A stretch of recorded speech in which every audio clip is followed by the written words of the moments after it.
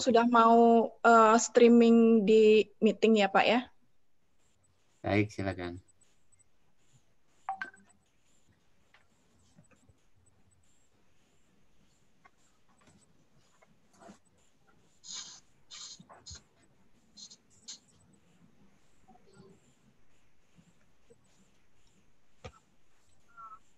Uh, di YouTube-nya sudah Bu, sudah jalan.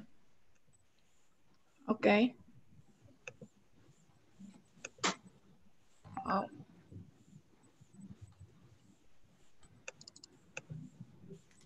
Assalamualaikum warahmatullahi wabarakatuh. Uh, selamat Salam. pagi, sahabat Mikoina. Salam sejahtera bagi kita semua. Om Swastiastu, Namo Buddhaya, Salam Kebajikan. Pertama-tama kita ucapkan puji syukur kehadirat Allah Subhanahu wa taala atas anugerahnya sehingga kita eh, bisa berkumpul kembali dalam ruang kuliah mikologi sesi ketujuh. Topik kuliah hari ini adalah jamur obat dan jamur beracun yang menjadi kepakaran dari Profesor Dr. I. Nyoman Pugok Arianta, guru besar di Sekolah Ilmu dan Teknologi Hayati Institut Teknologi Bandung. Selamat pagi, Prof. Nyoman. Selamat pagi, Bu Gayu. Selamat pagi ya. para mikologiwan dan pencinta jamur. Assalamualaikum. Ya, untuk mempersingkat waktu, eh, saya persilahkan Pak Nyoman untuk sharing.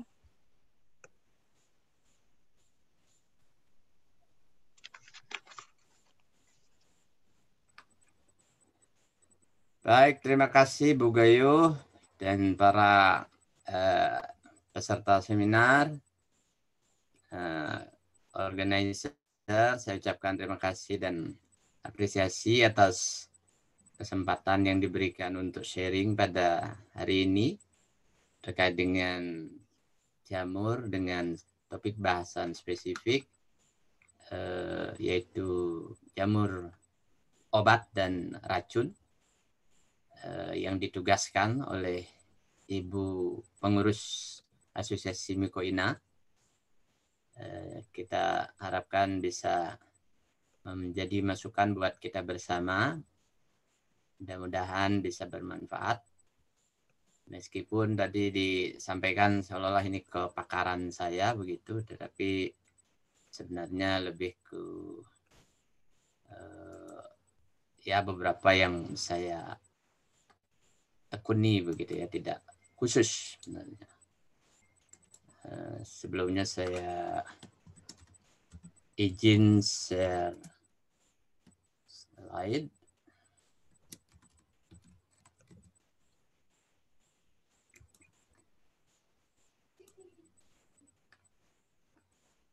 Oke.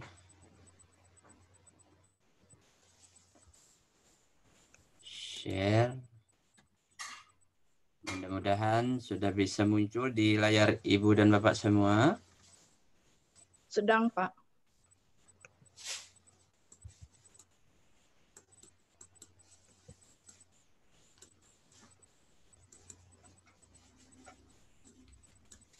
Ya, sudah, Pak.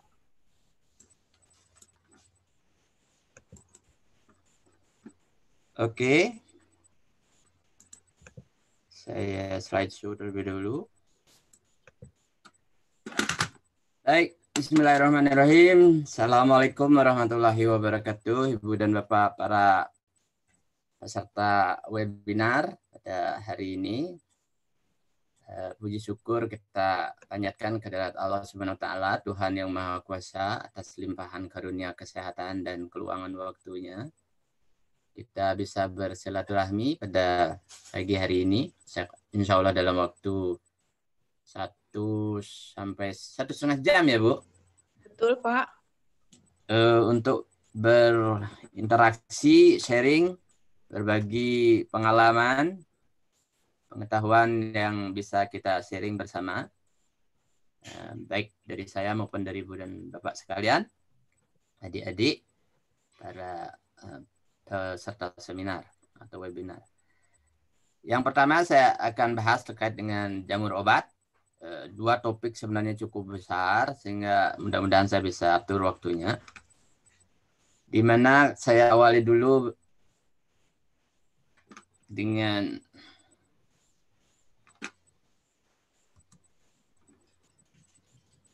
slide saya. Belum bisa maju ya?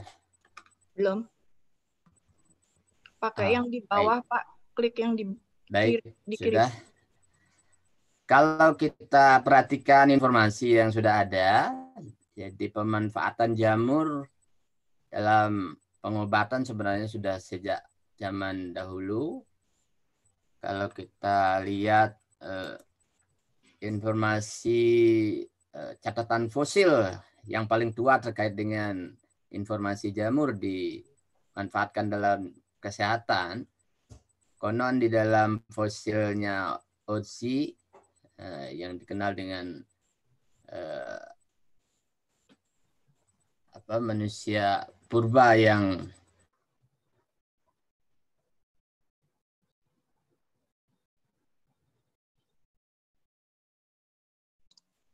Ada gangguan signal sepertinya Bu ya. Eh, iya, suara Pak Nyoman nggak keluar ya? Videonya juga freeze. Eh, Halo Pak Nyaman.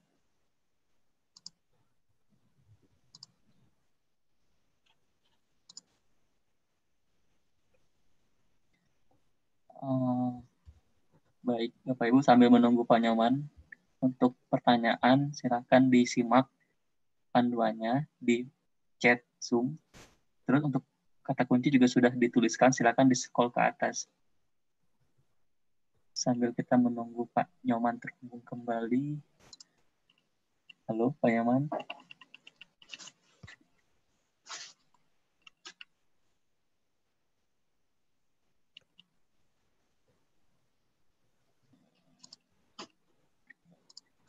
Saya cek di peserta.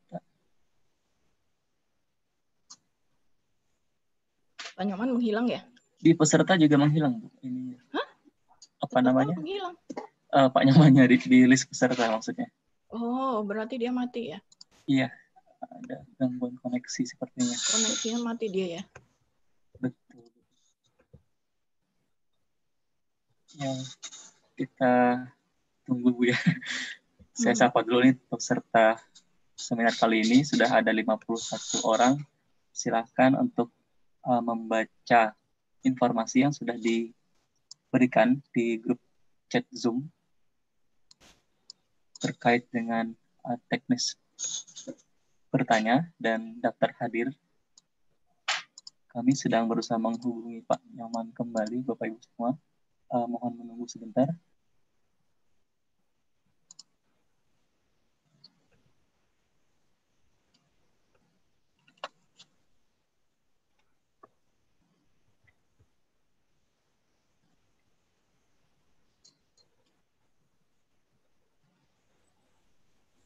Aduh maaf. Gimana Bu Gayu ada masalah? Eh, enggak, sekarang sudah muncul lagi Bapak. Silahkan lanjutkan Pak. Oh iya rupanya di mute tadi ya. Saya repot menerima ini nih eh, pesertanya minta diadmit. Oh, Masuk jangan, ke ini Pak. saya. Bapak, Bapak konsentrasi di eh, apa pemaparan Bapak. Kami ada co-host yang lain, Ivan Permana Putra dan saya itu yang mengurus itu. Jadi Bapak jangan mengurus yang lain. Bapak hanya Iya, presentasi. soalnya muncul selalu di ini saya di layar saya. Biarin Jangan saja Pak. apa-apa ini. Iya, oke. biarkan saja. Baik, eh, saya lanjutkan.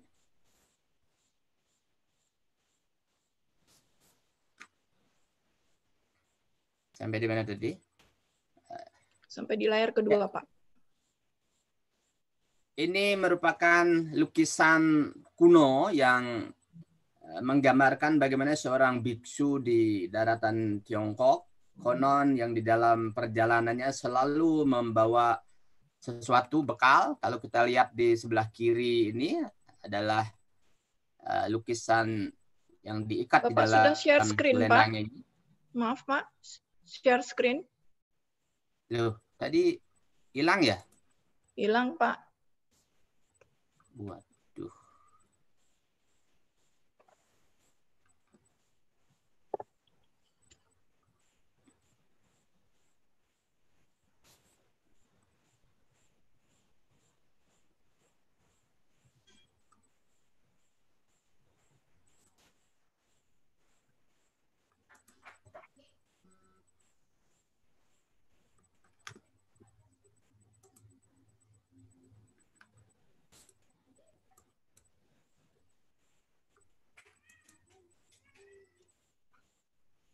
Sudah muncul? Sudah muncul Pak, tapi alamat alamat uh, apa history dari calling Bapak ya? Waduh.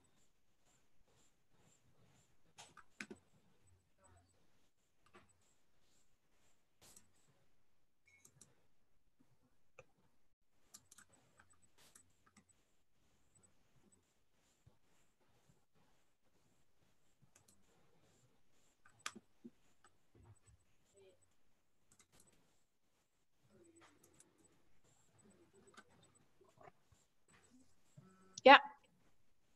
Tinggal di Baik, slideshow, maaf, Pak. uh, para peserta slideshow. Ya. Sudah, Pak. Sudah slideshow? Sudah. Ini adalah lukisan kuno yang menggambarkan bagaimana seorang biku, biksu di daratan Tiongkok konon dalam perkelanaannya selalu membawa sesuatu. Kalau kita lihat di lukisan sebelah kiri ini, ada selendang merah yang diikat ini. Ini adalah ternyata ilustrasi seorang biksu itu selalu ke mana-mana membawa jamur. Jamur itu tiada lain adalah jamur lingsi. Dan kita tahu uh, praktek pengobatan tradisional Cina yang dikenal dengan traditional Chinese medicine yang sudah berumur, lebih dari 3000 tahun sangat-sangat terkenal dan masih uh, berjalan seperti uh, pengobatan modern di dunia barat sampai sekarang. Bahkan menurut catatan WHO, uh, proses uh, penanganan kesehatan di Cina konon 40% itu menggunakan pendekatan-pendekatan tradisional. Tentu termasuk di sini penggunaan jamur-jamur obat. Dan diketahui hampir 90% semua uh, 90% rumah sakit di Cina itu selalu ada opsi penggunaan uh, opsi tradisional. Uh, dan ini berlangsung sangat-sangat dinamis sampai sekarang pengalaman saya ke Cina di Nanjing dulu saya pernah berkunjung.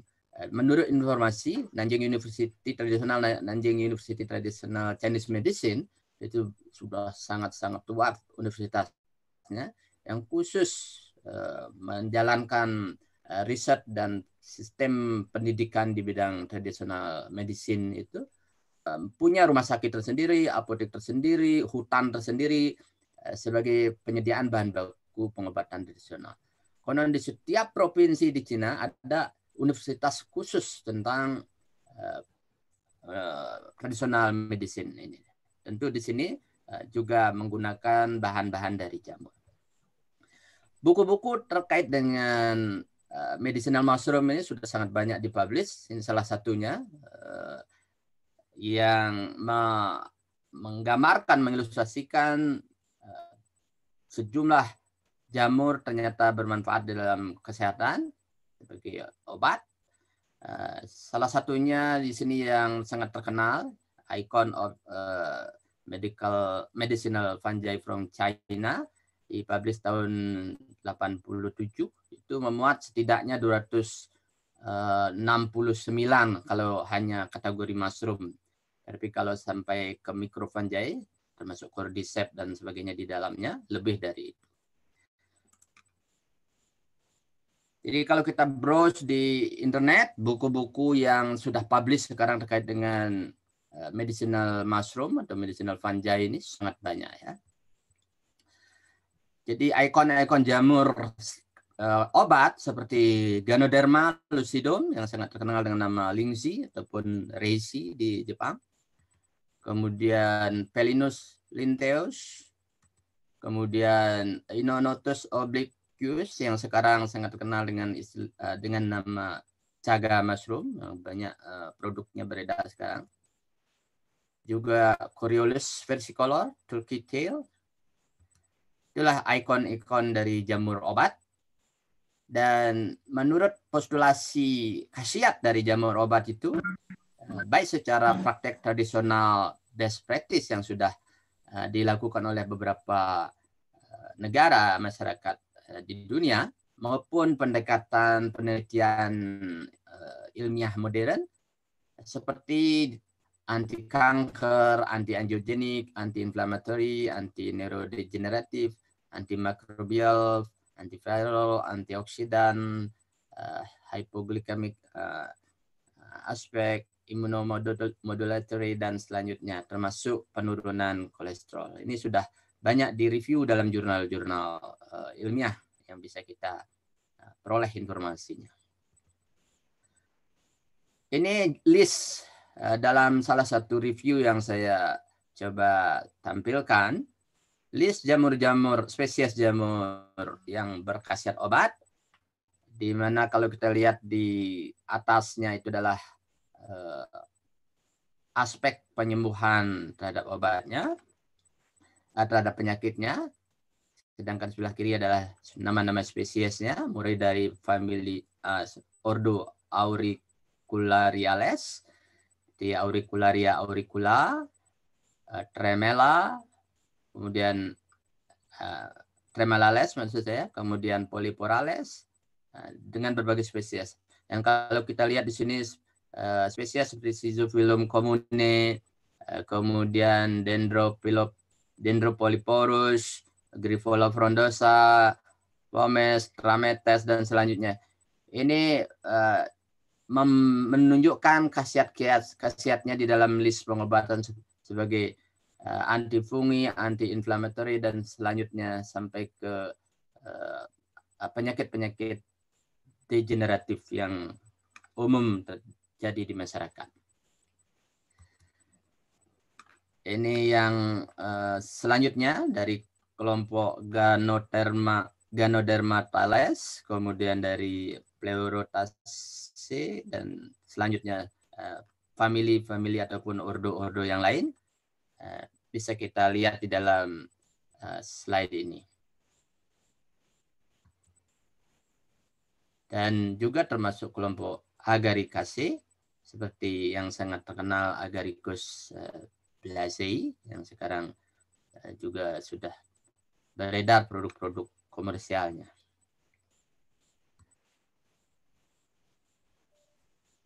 Dalam satu artikel mengatakan bahwa faktor kunci dari bagaimana jamur mushroom dalam hal ini memiliki khasiat medicine tiada lain keberadaan dari tiga komponen aktif yang sangat uh, sudah banyak diteliti, terutama yang merupakan uh, kandungan struktur dari jamur itu sendiri, yaitu dinding selnya, uh, beta-glukan, ergosterol, uh, kitin, dan juga senyawa-senyawa metabolit uh, sekunder yang tergolong tercakup dalam kelompok triterpenoid.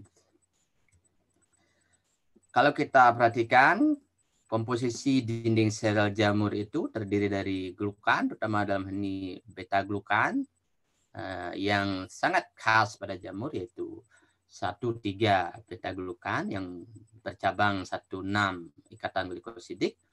Uh, demikian juga kitin dan uh, ergosterol. Inilah merupakan komponen struktural dari jamur, kelompok mushroom terutama, sehingga memiliki khasiat kesehatan yang mekanismenya sangat-sangat kompleks. Nanti akan saya coba jelaskan secara ringkas. Demikian juga tentunya kandungan yang non struktural yang bersifat metabolit sekunder. Jadi ini merupakan uh, uh, ikon kesehatan utama dari jamur obat yaitu beta glukan, kitin dan ergosterol yang merupakan komponen struktural, sedangkan komponen yang merupakan senyawa metabolit sekunder seperti triterpen, eh, asam amino dalam ini gamma eh, aminobutyric acid atau GABA, lovastatin, eh, senyawa-senyawa yang tercakup dalam uh, cakupan fenolik, flavonoid, meskipun sedikit diperdebatkan, ada yang mengatakan bahwa flavonoid tidak ada, tapi banyak juga yang mengklaim ada. Nama-nama spesifik uh, senyawa aktif yang sudah dibuktikan ada pada jamur obat sebagai metabolit sekunder uh, seperti ganoderic acid, lucidinic acid, inotodiol, tramethenolic acid, mirisetin, pirogalol dan selanjutnya. Dan kebanyakan di sini diberi nama sesuai dengan nama jamur atau nama spesies dari jamur itu sendiri.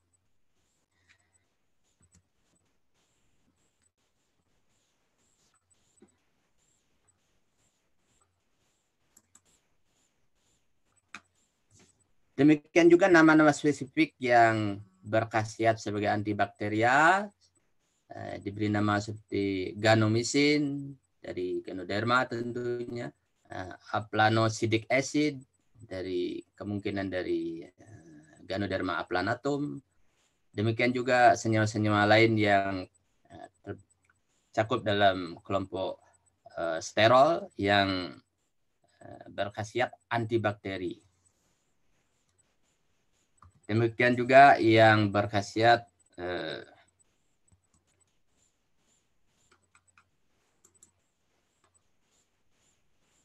sebagai anti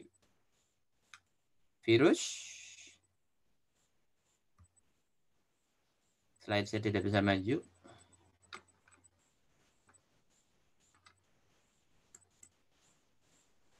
Di bagian bawah, Pak. Bisa diklik. Iya, ya, saya sudah mencoba mengklik tapi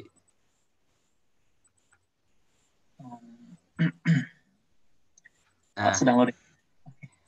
Eh, yang berkhasiat antivirus seperti Ganodriol F, Ganoderma eh, non-triol ganoderic acid, lucidadiol, aplanosidic acid, ergosterol peroxide, turunan purin, velutin, Nah, ini di antaranya senyawa-senyawa atau nama-nama uh, senyawa yang dibuktikan memiliki khasiat sebagai antivirus.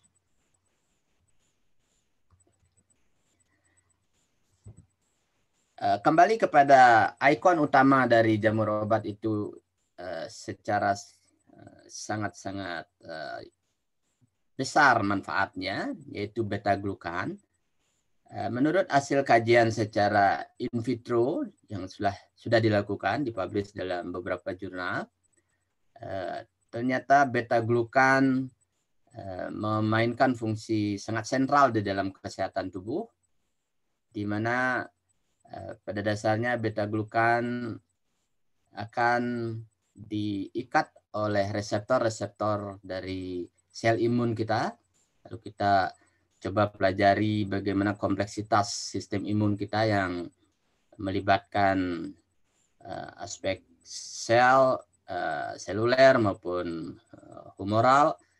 Dalam ini sel-sel imun yang sangat banyak variannya uh, terutama dalam ini uh, yang bersifat sebagai uh, fagositosis kemudian menghasilkan senyawa-senyawa protein yang bisa melumpuhkan uh, target. Uh, demikian juga yang bisa menghasilkan antibodi secara umum. Semua ini ternyata bisa diaktifkan oleh kehadiran beta glukan yang kalau diberikan dalam uh, bentuk yang masih kompleks, jadi belum dalam ukuran yang fragmen-fragmen yang kecil atau sampai ukuran nano, itu tubuh sendiri akan melakukan proses fragmentasinya. Di hasil penelitian yang dilakukan, glukan yang kompleks itu tidak dicerna oleh lambung, tapi langsung diterima oleh sel-sel uh, mukosa di daerah usus bagian depan, kemudian masuk ke dalam sistem peredaran uh, di mana selanjutnya diikat oleh reseptor sel-sel imun terutama dalam ini makrofag. Konon makrofag di sini uh, dari hasil penelitian yang telah dilakukan. Uh, slide berikutnya saya rasa. Akan di uh, serap oleh mikrofag, sel mikrofag, sel makrofag, kemudian didefragmentasi menjadi eh, ukuran-ukuran uh, yang kecil sehingga bisa ditransportasikan nantinya ke dalam sistem peredaran sampai ke sumsum -sum tulang maupun uh, ke timus di situlah uh, menjadi signaling terhadap uh, pembentukan sel-sel B maupun sel-sel T yang selanjutnya terjadi kompleksitas imun yang aktif yang akhirnya bisa menargetkan sel-sel asing, bakteri, virus maupun racun dan sebagainya yang selanjutnya bisa diantisipasi oleh tubuh. Nah, aktivasi daripada sistem imun ini sangat kompleks, banyak kajian sudah dilakukan. Uh, di sana uh, peran terutama beta glukan ternyata sangat-sangat sentral di sini. Demikian juga komponen-komponen lain dari jamur obat ini bisa berikatan pada reseptor-reseptor spesifik uh, yang sudah dipahami reseptor seperti eh, CR3, kemudian uh, Dektin 1, kemudian uh, TLR2 sampai 6 uh, konon terlibat di dalam proses uh, penempelan eh, beta glukan ini kepada sel imun yang selanjutnya menjadi signaling di proses hilir eh, regulasi imun sistem. Ini gambar secara eh, umum peran beta glukan, terutama yang dikaji dalam ini dalam sistem in vitro terhadap sel tumor. Sehingga glukan dalam ini di samping mengaktifkan signaling imun sistem tersebut juga sebagian dibuktikan bisa menjadi uh, semacam jembatan yang bisa me mempercepat proses pengenalan target uh, patogen dalam ini baik yang bersifat uh, ekstra yang berasal dari luar maupun dari sel-sel tumor itu sendiri oleh uh, makro oleh sel-sel yang bersifat nantinya melakukan proses fagositosis Eh, sehingga bisa dilakukan proses fagositosis lebih eh, masif.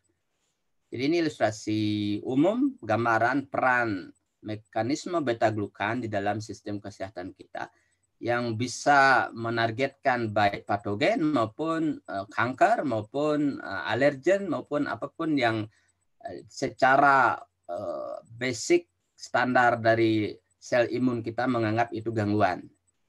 Sehingga Eh, beta glukan atau jamur yang mengandung beta glukan ini terutama jamur-jamur yang sudah dipahami sebagai jamur obat bisa berfungsi dalam berbagai hal karena peran sentralnya ini eh, ternyata yang memainkan kunci. Jadi kalau kita lihat eh, lebih detail mekanismenya, jadi beta glukan akan diikat oleh reseptor-reseptor yang sudah dikenal seperti dektin tadi, CR3 maupun eh, TLR, uh, toll-like reseptor, dan diperkirakan juga masih banyak reseptor-reseptor yang lain yang kemudian selanjutnya mengaktifkan signaling hilir di dalam berbagai pathway yang akhirnya akan bisa melakukan proses uh, hilir terhadap aktivasi imun-imun uh, adaptif. Eh, apakah yang nantinya akan membunuh ataupun memfagositosis eh, target-target eh, yang tidak diharapkan oleh tubuh. Ini gambaran bagaimana aktivasi hilir, termasuk di sini produksi sitokin, antibody, yang selanjutnya mengaktifkan natural killer cell, kemudian sel B, sel T, Eh, dalam sistem imun adaptif. Eh, demikian juga yang di awal tadi secara uh, imun bawaan yang sudah langsung direspon akan mengaktifkan sel-sel uh, makrofag tadi melakukan proses fagositosis uh, maupun di daerah-daerah yang di luar akan mengaktifkan sel-sel uh, dendritik sehingga bisa menarget target-target kuman ataupun patogen yang masuk.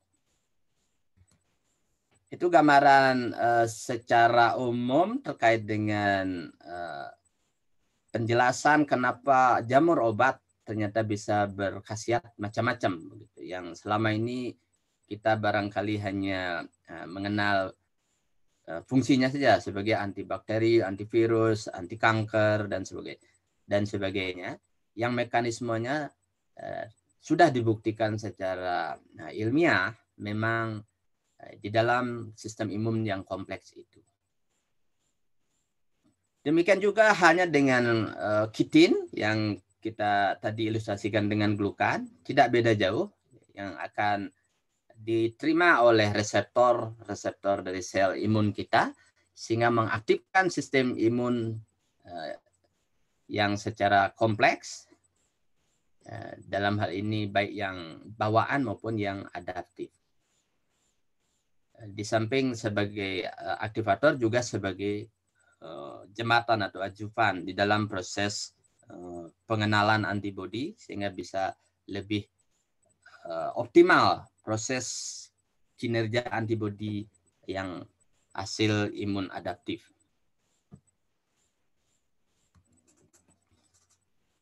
Ini salah satu hasil penelitian yang telah dibuktikan yang telah membuktikan bagaimana kitin di dalam berbagai ukuran kalau diberikan secara uh, oral maupun secara intravenal uh, dari ukuran yang di bawah 40 mikron, di atas 40 mikron sampai yang polimer uh, kompleks ternyata memberikan respon-respon sel imun yang berbeda. Jadi kalau kita lihat di sini kalau kitin yang difragmentasi dalam ukuran 40 sampai 70 mikron ternyata bisa mengaktifkan sel-sel uh, imun dalam hal ini makrofag tadi dalam menghasilkan uh, interferon uh, maupun senyawa-senyawa uh, protein yang lain yang menjadi uh, sinyaling di dalam proses imun yang kompleks tersebut yang selanjutnya bisa mencegah inflamasi, kemudian melakukan proses fagositosis dan selanjutnya.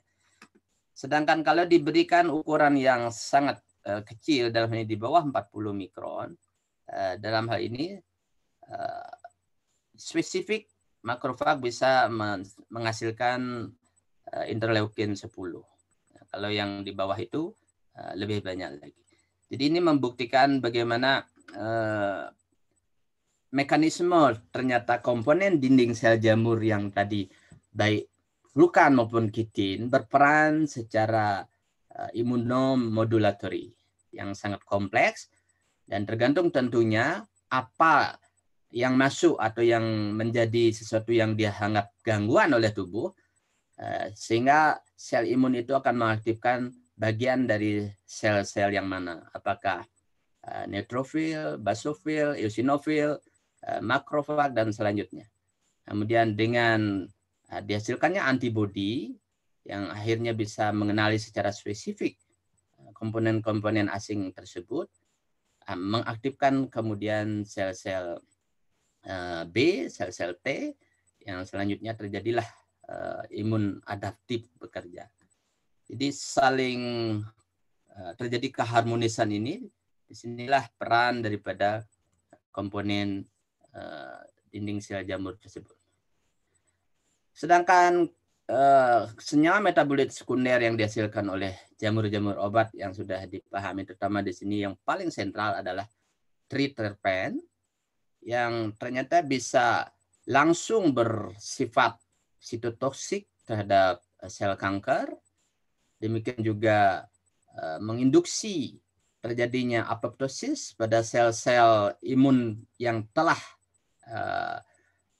terinfeksi oleh uh, kuman. Jadi kalau bagian dari sel-sel imun tadi ada yang sudah terinfeksi oleh bakteri atau oleh virus dan dalam keadaan supaya sel tersebut tidak menjadi media perbanyakan dari virus ataupun bakteri yang sudah menginfeksi tersebut Eh, maka triterpen ini bisa menginduksi terjadinya apoptosis, jadi sel bunuh diri. Dan termasuk dalam ini eh, patogennya pun mati karena di situ akan terjadi eh, pembentukan radikal bebas dan sejenisnya yang selanjutnya bisa sangat toksik bagi bakteri ataupun patogen yang lain.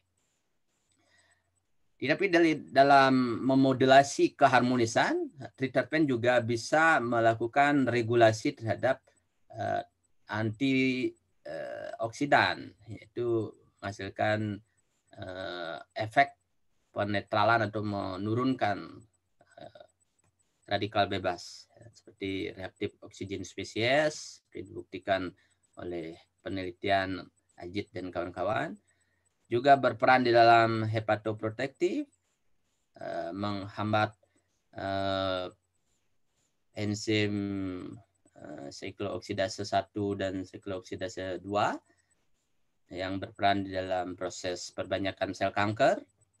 Juga dibuktikan bisa meregulasi aktivitas uh, enzim SREBP1C yang Eh, merupakan enzim berperan di dalam proses uh, pembentukan lemak yang sangat aktif terjadi pada sel-sel kanker. Jadi kalau ini ditekan, maka perbanyakan sel kanker bisa dihambat. Juga dibuktikan bersifat langsung terhadap proses uh, perbanyakan komponen virus dalam ini menghambat uh, aktivitas enzim proteinase 1 uh, dalam kasus kajian terhadap virus HIV dilaporkan oleh Min et al tahun 98. Ini peran tritorpen yang sudah ya, dibuktikan secara penelitian ilmiah eh, yang secara umum kita tahu triterpen sangat eh, terkenal di dalam pengobatan tradisional baik dari tanaman maupun eh, jamur obat dalam hal ini. Terkait dengan GABA, eh, gamma aminobutyric acid yang sangat terkenal sekarang uh, mungkin di, dalam dunia nutraceutical ternyata berperan di dalam perkembangan otak terutama sel-sel otak dan juga sudah dibuktikan uh, merupakan uh, neurotransmitter yang sangat baik sehingga bisa uh, menjadi suatu proses dalam kinerja saraf sentral di otak. Juga memperbaiki kinerja sel-sel beta di pankreas sehingga jamur yang bisa bersifat hypoglikemik menurunkan kadar gula darah dalam menanggulangi diabetes ternyata salah satu Eh, peran GABA di sini yang berfungsi. Demikian juga di dalam masalah uh, hipertiroid dan juga GABA bisa uh, oleh berbagai sel-sel periferal yang memiliki reseptor-reseptor spesifik terhadap GABA sehingga menjadi uh, salah satu mekanisme uh, proses penanggulangan eh, penempelan ataupun uh, infeksi dari patogen. Dan juga seperti halnya uh, peran dari yang sebelumnya, GABA juga dibuktikan memainkan peran sangat penting di dalam mengaktifasi imun sistem. Uh, tentu dalam hal ini termasuk juga di dalamnya menanggulangi masalah inflamasi Eh, juga dalam autoimun dan juga alergi di sesuatu yang bukan patogen. Ini ilustrasi GABA yang bersifat uh, sebagai neurotransmitter.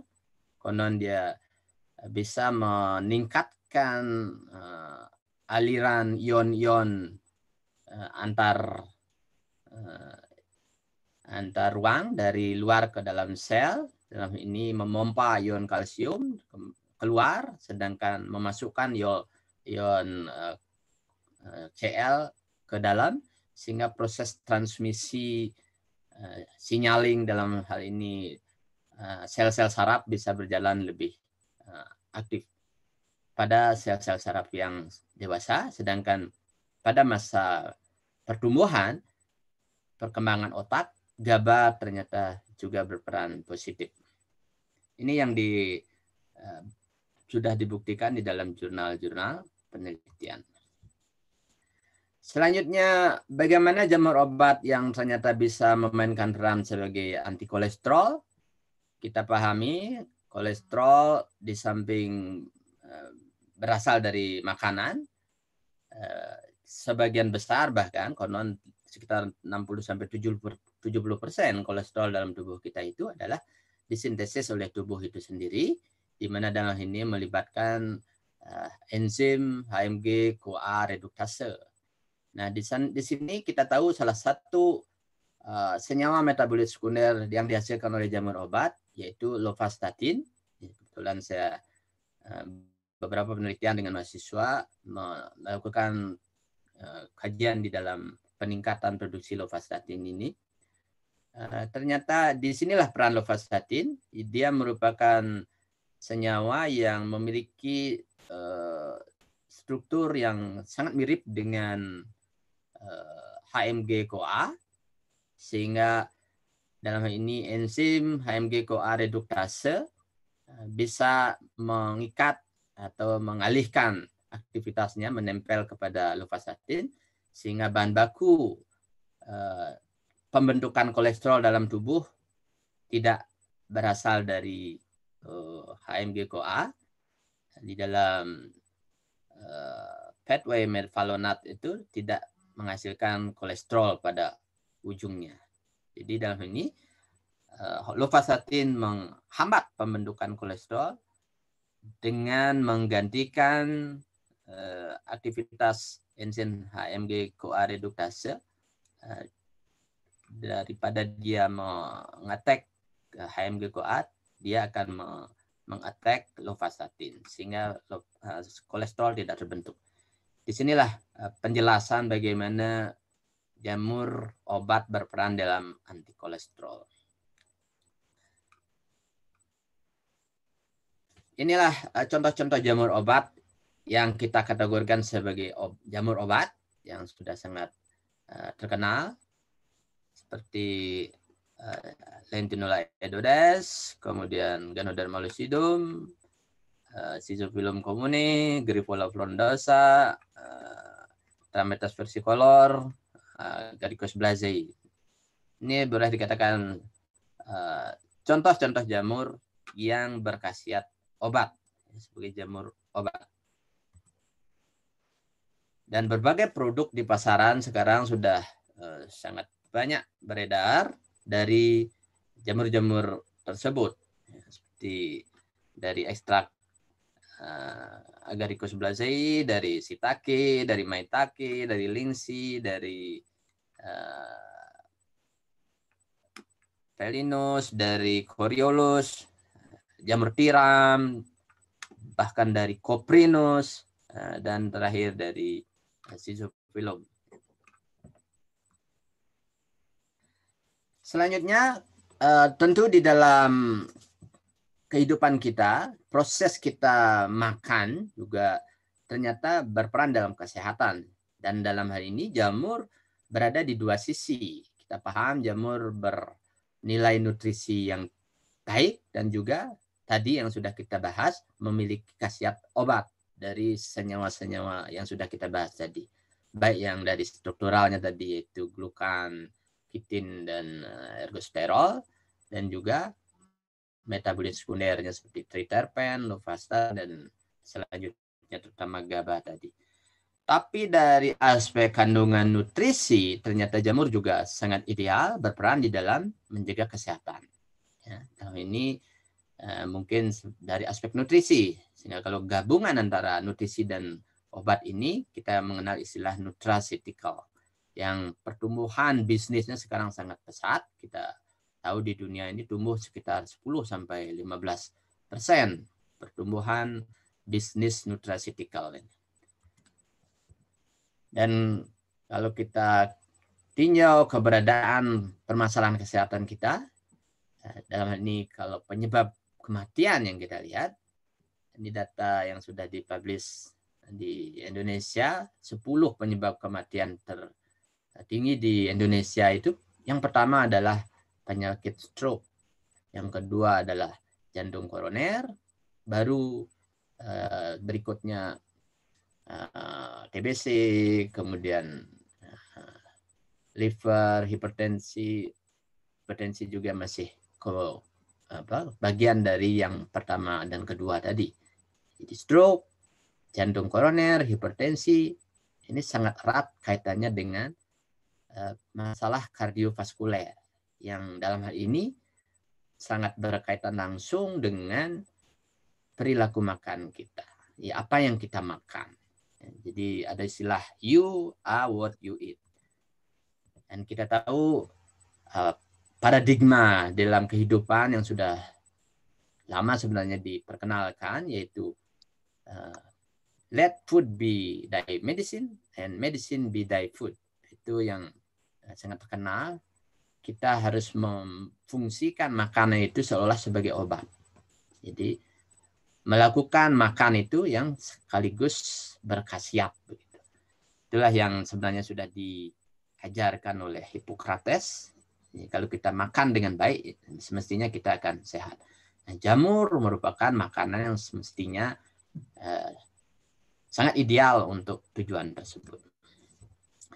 Dan kalau kita kaji bagaimana jamur sebagai makanan tetapi ber, berperan di dalam kesehatan, terutama eh, dari kandungan-kandungan jamur itu sendiri, selain yang tadi yang sudah kita singgung yang berkhasiat obat, tidak dalam aspek nutrisi ternyata jamur secara eh, filogeninya kita tahu lebih dekat dengan hewan dibandingkan tumbuhan.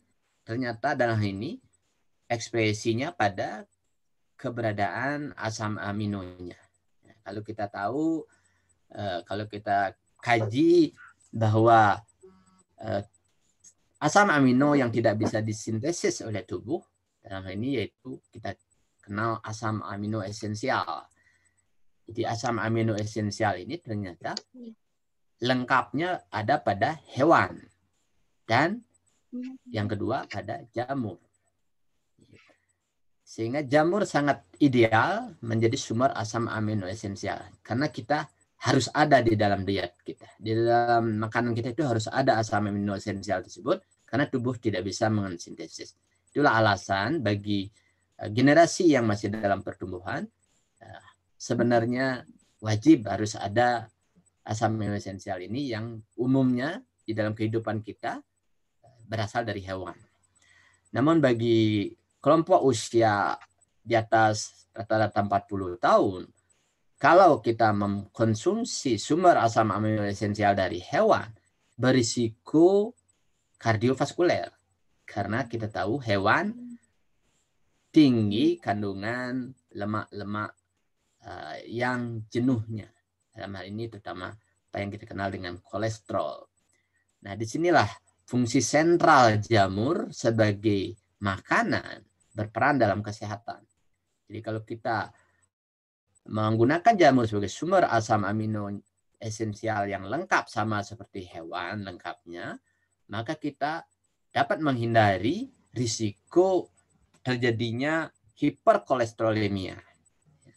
Karena di samping tubuh menghasilkan kolesterol sendiri, kita tambah lagi dengan kolesterol eksternal, maka risiko kita mengalami hiper kolesterolemia di dalam tubuh kita lebih tinggi jadinya.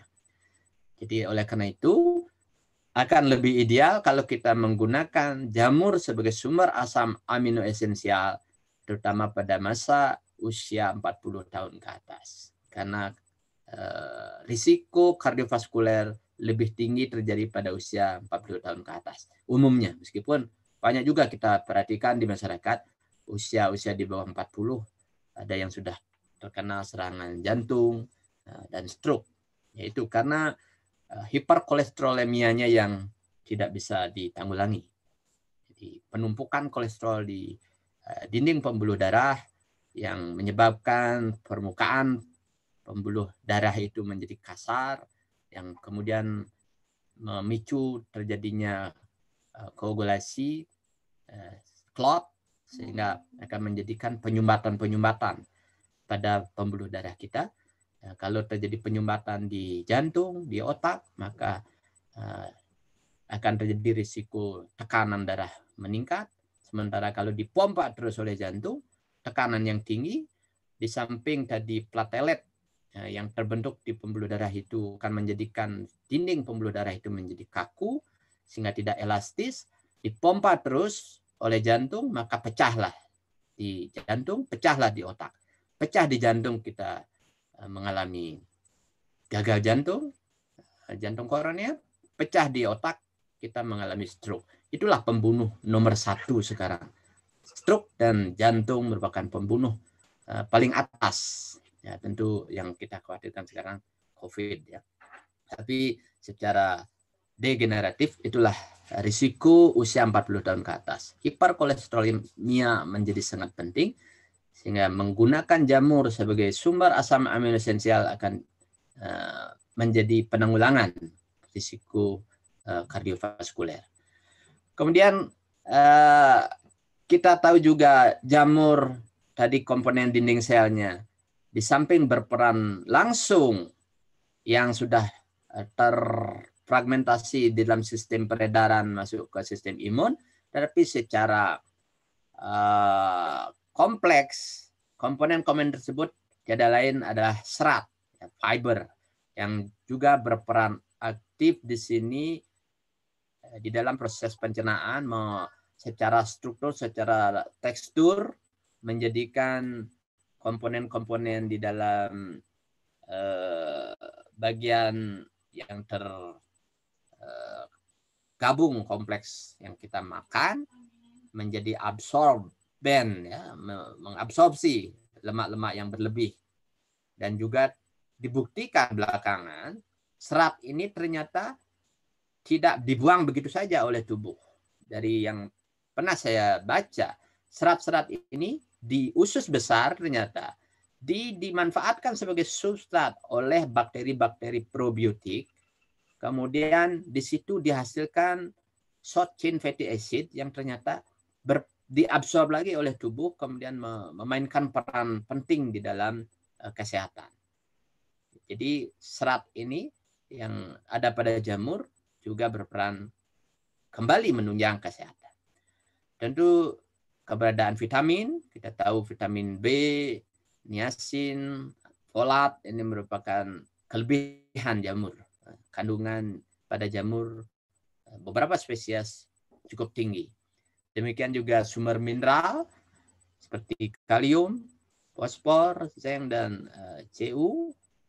beberapa jamur mengandung uh, mineral yang cukup baik sehingga bisa menjadi sumber mineral. Dan beberapa spesies dari jamur memiliki mineral apa yang disebut dengan selenium yang sangat terkenal sebagai antioksidan yang berperan juga di dalam proses penanggulangan uh, kanker. Sehingga dari kandungan nutrisi jamur ini pun berperan sebagai kesehatan yang kategorinya sebagai nutraceutical.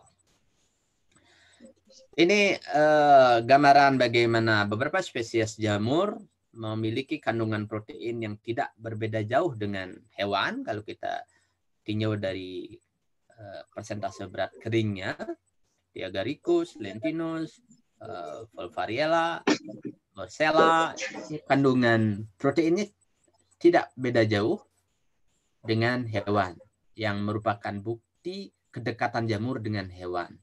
Dan dari protein ini yang lebih penting tadi yang sudah kita bahas itu keberadaan asam amino esensial. Ini gambaran bagaimana kelengkapan asam amino esensial beberapa spesies jamur dibandingkan dengan telur yang paling kanan di dalam tabel ini. Kalau kita lihat dari kiri Agaricus bisporus, Pleurotus flabellatus, Pleurotus ostreatus, uh, Peritus uh, apa es itu Sapidus barangkali ya, Forfaliara diflasia, Forfariala volvacea.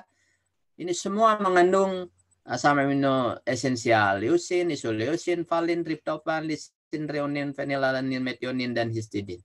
Jadi sama dengan hewan. Nah, ini tidak terdapat lengkap seperti ini pada tumbuhan. Jadi itulah uh, idealnya jamur sebagai sumber asam amino esensial menggantikan peran daging hewan. Nah, di satu sisi kita tahu keberadaan asam lemak jamur.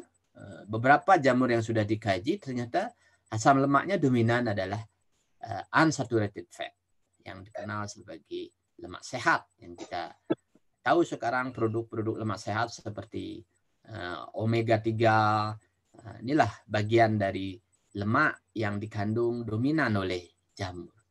Jadi dari kandungan lemak yang sehat, kelengkapan asam amino esensial yang lengkap, protein yang uh, relatif tinggi, jadi menjadikan jamur pangan sehat yang secara ini eh, secara tidak langsung berkhasiat obat secara uh, konsep pangan berkhasiat obat konsep pangan atau nutraceutical. Ini bukti eh, vitamin-vitamin yang ada pada jamur yang sudah diteliti. Kemudian eh, mineral, jadi sudah saya singgung. Kemudian serat yang cukup tinggi yang juga berperan penting di dalam eh, kesehatan kita. Nah, kalau tadi jamur yang sudah kita singgung di atas, ikonnya sebagai jamur obat, jamur ini justru berada di dua sisi. Sehingga sangat ideal jamur-jamur spesies ini menjadi uh, supporting paradigma seperti yang disampaikan oleh Hippocrates tadi, let food be thy medicine and medicine be thy food. Karena jamur ini kita konsumsi sehari-hari sebagai makanan. Nah, kalau ini secara rutin kita konsumsi, otomatis berbagai senyawa aktif yang tadi yang sudah kita bahas, mulai dari beta glukan, kitin, ergosterol, triterpenoid, GABA, Eh, vitamin, asam amino esensial, lemak tak jenuh, otomatis akan menjadikan tubuh kita eh, sehat secara pencegahan maupun uh, memodulasi sistem imun kita. Jadi inilah yang uh, mestinya menjadi perhatian kita di dalam mengkonsumsi makanan. Jamur ideal sebagai makanan kesehatan, pangan kesehatan atau nutraseutika.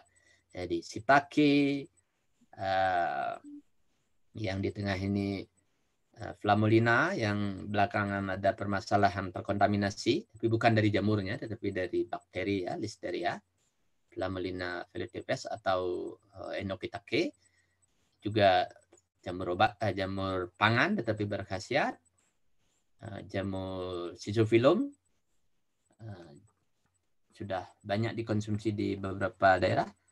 Jamur maitake, uh,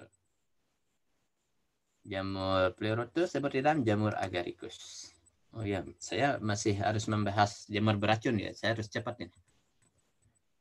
Uh, selenium yang ada pada jamur, beberapa hasil penelitian yang sudah mengkaji jamur-jamur yang menghasilkan selenium dalam bentuk seleniostain, selenometionin, seleno selenite, eh, C-metil seleniostain. Eh, di antaranya jamur-jamur seperti uh, albatrelus, ini yang ada di alam, dari kelompok Polyporaceae, kemudian boletus, terkenal porcini, sangat terkenal, kemudian macrolepiota,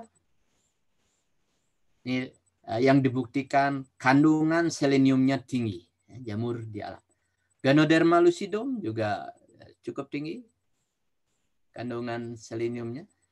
Lycoperdon, jamur-jamur yang mengandung uh, selenium tinggi. Amanita strobiliformis, uh, tentu saya rekomendasikan mengambil jamur ini. Nanti akan kita bahas di jamur beracun. Sehingga itulah tambahan bagaimana jamur pangan berkhasiat obat. Selanjutnya saya akan masuk ke jamur beracun. Kita tadi punya gambaran sebenarnya jamur sebagian besar berkhasiat uh, obat dan pangan, tapi sebagian kecil Uh, dari list spesies diperkirakan di bawah 100 yang beracun, tetapi yang fatal itu di bawah 20. Tetapi citra jamur menjadi mengerikan di masyarakat secara umum karena jamur itu kesannya berbahaya. Nah ini salah kaprah masyarakat yang perlu kita edukasi eh, karena lebih besar sebenarnya peran positifnya sebagai obat maupun sebagai pangan dan tentu produk-produk yang lain berkembang belakangan ini sangat eh, banyak sekarang saya akan masuk ke jamur racun. Nah, sebenarnya saya ingin sharing hasil penelitian, tapi nanti belakang kalau ada waktu ya.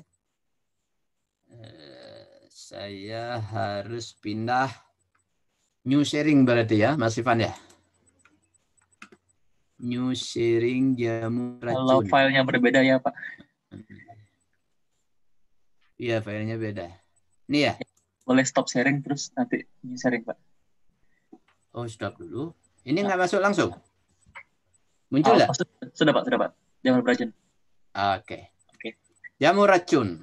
Nah, ini uh, amanah dari Ibu Ketua. Saya tadinya tidak ingin membahas ini, tetapi karena Pak itu mundur katanya, ya udah saya akan bahas jamur racun.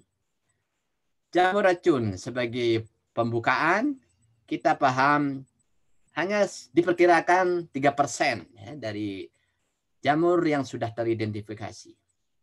Tadi gambaran sekitar di bawah 100 yang beracun, tapi sebagian besar racunnya ringan. Tapi yang fatal itu sekitar di bawah eh, belasan spesies yang fatal ya. Namun yaitu sebagian dari racun jamur itu berefek fatal, mematikan.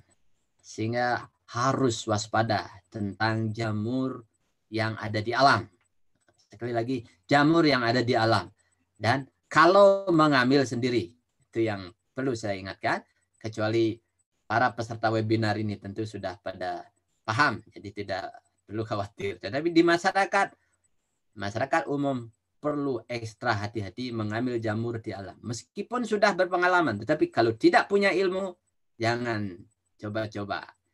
Nanti saya akan tunjukkan kenapa.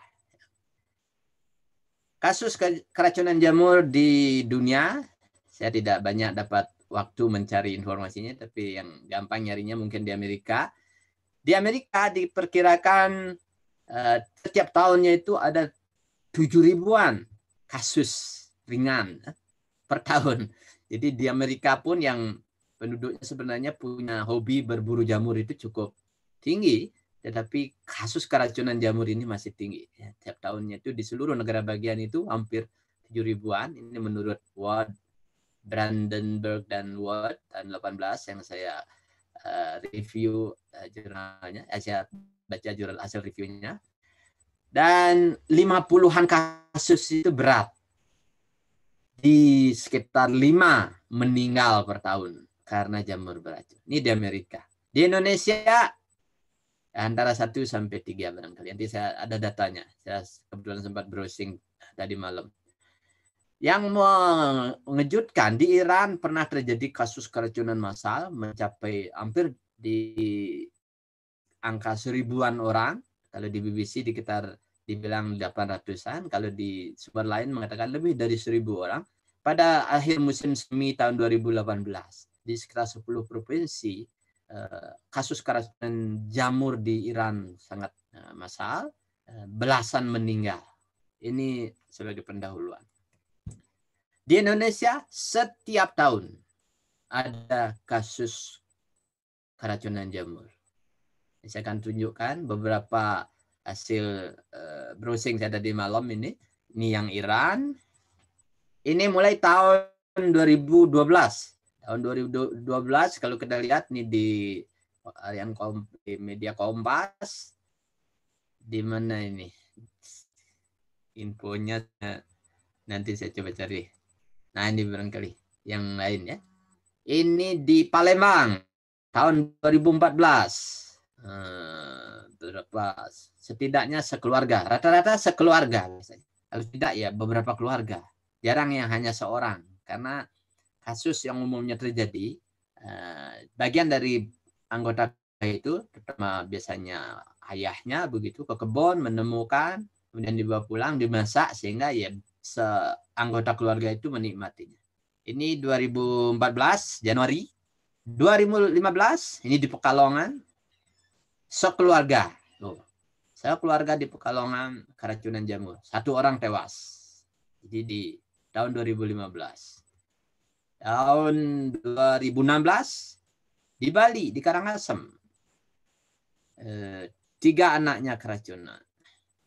Kemudian di Indramayu 2016, April 2016, 26 karyawan. Ini salah ini jamur yang tumbuh di sekitar pabrik. Yang eh, rata-rata jamur berwarna putih biasanya. Dari uh, informasi yang saya baca. Katanya berwarna putih. Ini juga putih ini sebenarnya. Ya, di Bungo. Satu keluarga.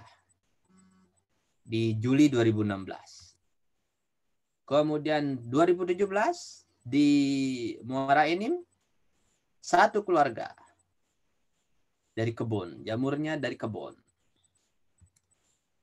Di Banyumas, Jawa Tengah, empat warga. Jadi kalau empat warga bisa jadi tetangga juga. Eh, di 2017 di Lebak. Lebak di Jawa Barat, ada saya. Eh, mana nih ceritanya? Keracunan jamur juga ya. Satu keluarga ya. Di 2018, nah, kalau nggak salah 2018 ini paling banyak, paling sering. Uh, maksudnya kasusnya paling tinggi. Di Purwakarta, konon di Purwakarta ini uh, sudah langganan setiap tahun pasti ada keracunan. Di hal biasa katanya. Di bulan Februari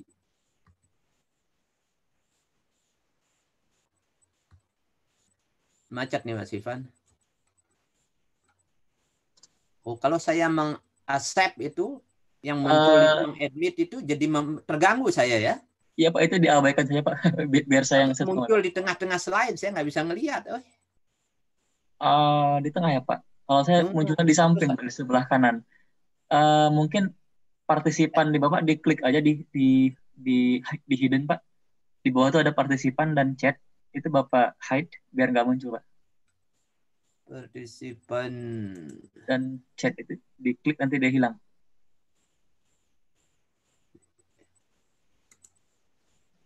Oke, mudah-mudahan tidak muncul lagi. Dia ya, muncul baik. selalu di tengah. Begitu saya klik, jadi macet ini saya. Oh, ya baik, Pak. Jadi masih ada yang menyusul soalnya. Karena kayaknya ininya uh, memorinya rendah jadi uh, mungkin RAM-nya Pak ya. Iya, RAM-nya rendah. Saya pakai komputer istri tadi. Ayo. Ayo. Belum bisa saya majukan slide ini. Uh, kursornya apakah bisa bergerak ya Pak? Kursor bisa. Oke. Okay tinggal slide-nya Pak ya. Iya, teksnya. Ah, baru. Oke. Ini di mana nih? Di Pekalongan. Nah, ini bukan jamur putih.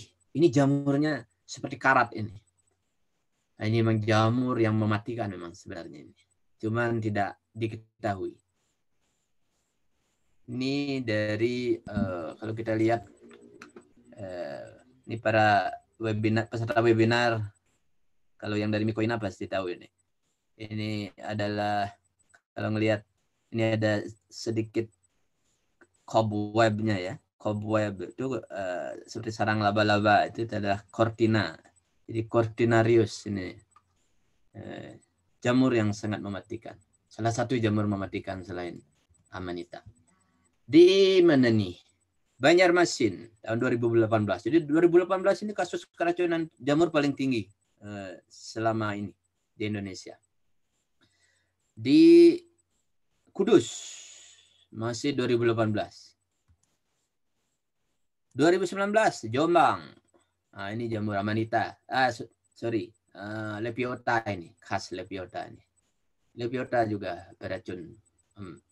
Meskipun eh, tidak mematikan. Kemudian Gerobokan, Jawa Tengah. 2019 akhir. Tahun ini di eh, di akhir tahun 2019 ya di Garut. Tahun ini juga sudah ada. Tahun bulan Januari awal 2020 di Lampung. Satu keluarga keracunan. Baru lalu bulan Maret di Ciamis empat warga jamur liar disantap. Itulah gambaran bagaimana eh, berbahayanya sebenarnya jamur bagi masyarakat awam.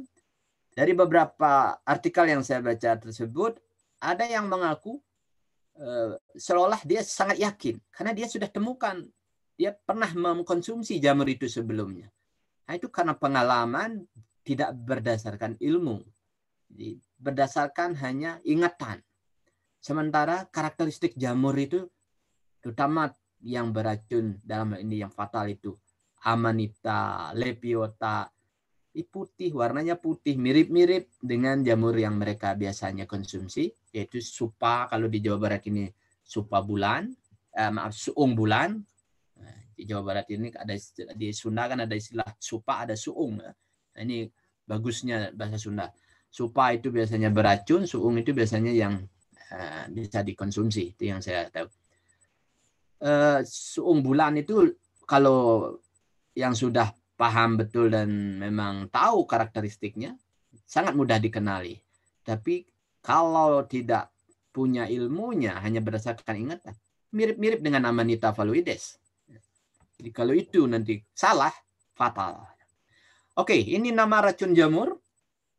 Nama-nama uh, secara alfabetik yang sudah terdefinisikan, teridentifikasi ada acromelic acid, amanitin, coprine, girometrin, ibutenic acid, muskimol, muskarin, orelanin, panterin, paloidin, psilocybin. Nah, yang saya beri warna merah ini adalah yang fatal.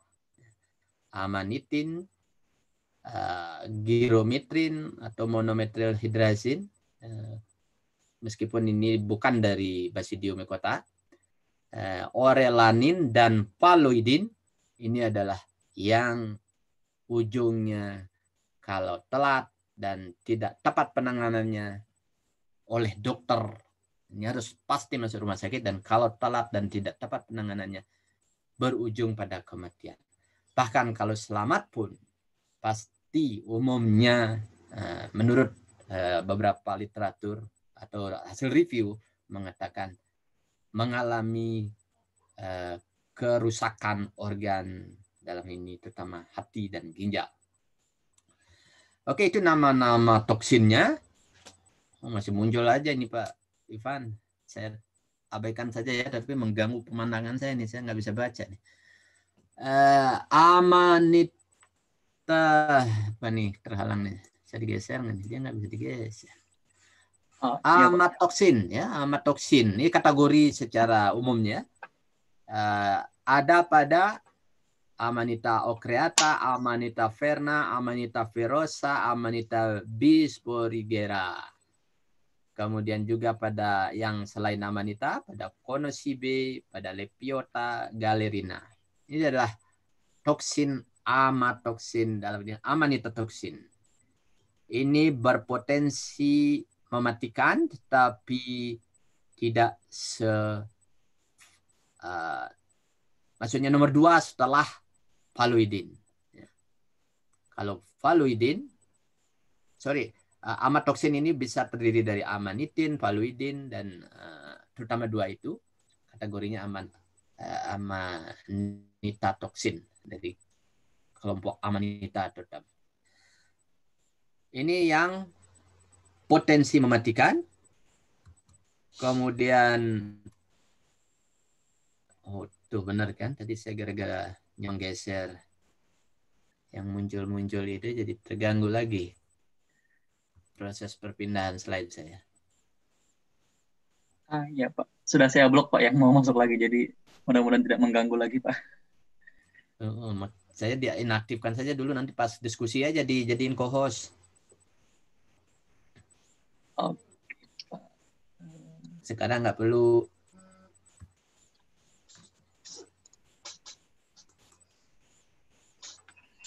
Bu Gayu mungkin Bu Gayu apakah bisa membuat ah, sudah. Kemudian kategorinya giromitrin dari kelompok giromitra ini bukan uh, Basidium kota sebenarnya, tapi saya singgung juga.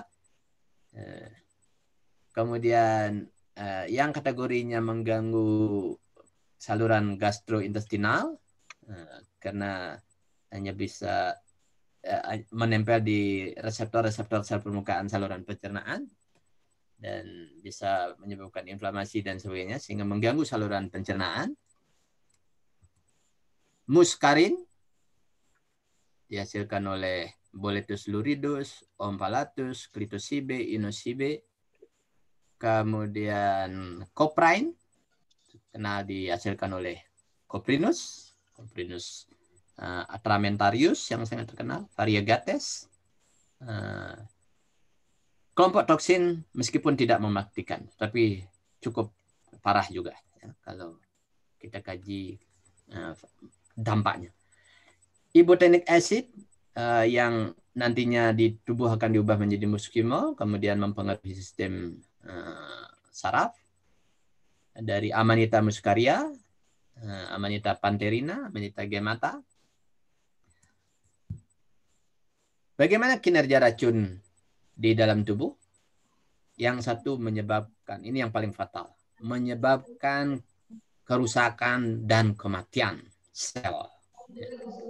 Terutama di sini yang reseptornya banyak di organ, maka ujungnya akan pada kematian. Yang sudah dipahami dengan baik, eh, kelompok toksin dari amanetoksin, terutama di sini amanitin, orelanin, monometilhidasin, faloidin satu lagi sebenarnya uh, lewat.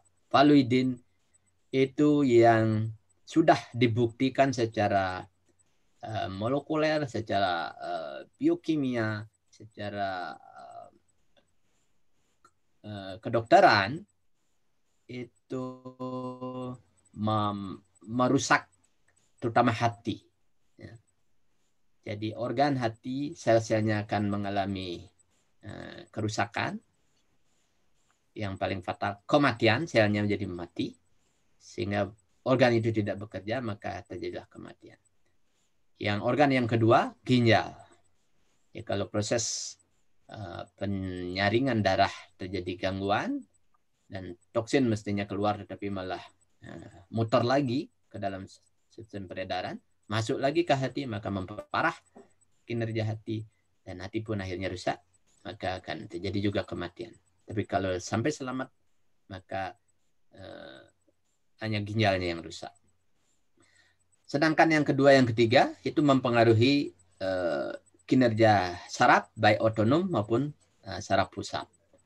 Jadi kalau saraf otonom dia akan mempengaruhi eh, refleks-refleks eh, eh, pergerakan, tetapi kalau secara pusat akan mempengaruhi uh, otak. Dalam hal ini bersifat uh, halusinasi, bersifat uh, intinya kinerja otot pusat. Termasuk di sini uh, ibotenic acid yang selanjutnya diubah menjadi muskimol maupun psilocybin yang sangat terkenal. Apa saja gejala keracunan jamur? Ya seperti halnya ke keracunan secara umum, Eh, dalam hal ini yang sudah terdefinisikan juga diakui oleh pasien-pasien tadi yang setiap tahun terjadi keracunan kalau kita eh, baca yaitu halusinasi, bingung, mual, diare, kram, perut, lemas, eh, denyut nadi meningkat, suhu panas, menggigil, muntah, pusing, pingsan, koma dan ya kalau terakhir ya bukan gejala tapi hasil akhir ya meninggal.